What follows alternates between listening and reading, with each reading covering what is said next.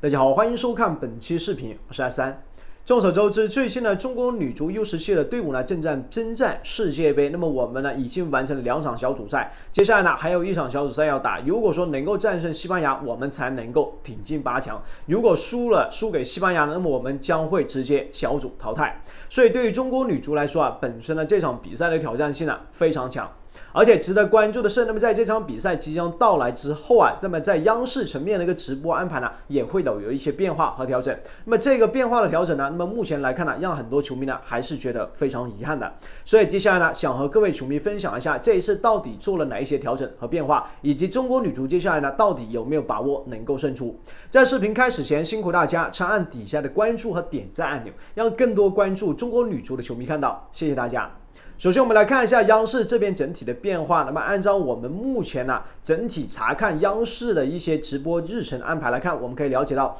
在这一次面对西班牙的比赛放在啊十八号的晚上七点来进行，但是在之前直播过女足的两场啊。两场比赛的 CCTV 五平台和 CCTV 五加平台呢都没有看到相关的一些日程安排，所以接下来也就意味着呢，在之前一直稳定去播出中国女足比赛的这个直播平台呢，目前来看暂时没有更新安排相应的一些日程，所以对于各位球迷来说呢，也一定要留意一下，如果到时候在这两个平台没有关注到相关的一些比赛安排呢，也要及时去到其他的渠道来继续支持我们中国女足，继续给我们女足呢好好加油。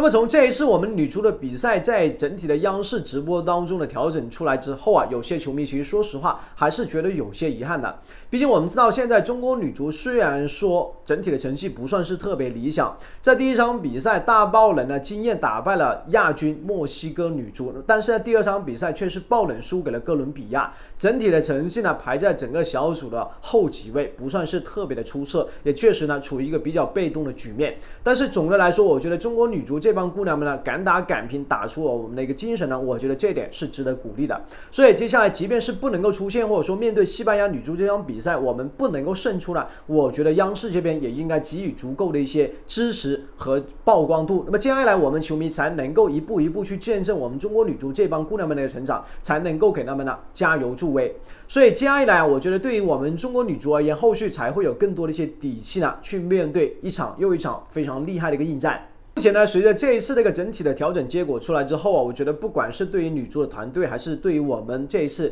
一起跟随出战的。足协副主席。也就是孙文而言呢，应该都是一个比较遗憾，也是比较无奈的结果。那么他们目前也只能够做好准备，来带领着中国女足打好更多的一些表现。至于说直播平台有什么样的一个安排呢，也确实不是他们这边呢能够去操控的。但不管怎么样，我觉得对于中国女足来说啊，接下来的话，所有的事情呢都已经是有了一个初步的安排。即便是后续暂时没有相关的一些直播安排呢，我觉得大家也一定要努力打出我们的精神和风采。因为从目前来看，那我们的手下败将墨西哥女足呢，已经帮我们狠狠的打败了西班牙女足的一个锐气，二比一呢，在最近的小组赛当中拿到胜利。所以对于中国女足而言呢，我觉得也是一个很好的契机。既然说我们曾经打败过墨西哥女足，那么现在墨西哥女足呢又打败了西班牙女足，我觉得大家一定要有这样的一个信心，我们呢应该拿出面对墨西哥女足那场比赛的状态和心。态来应对这个最强对手。这样一来呢，如果说能够出现奇迹打败这个对手呢，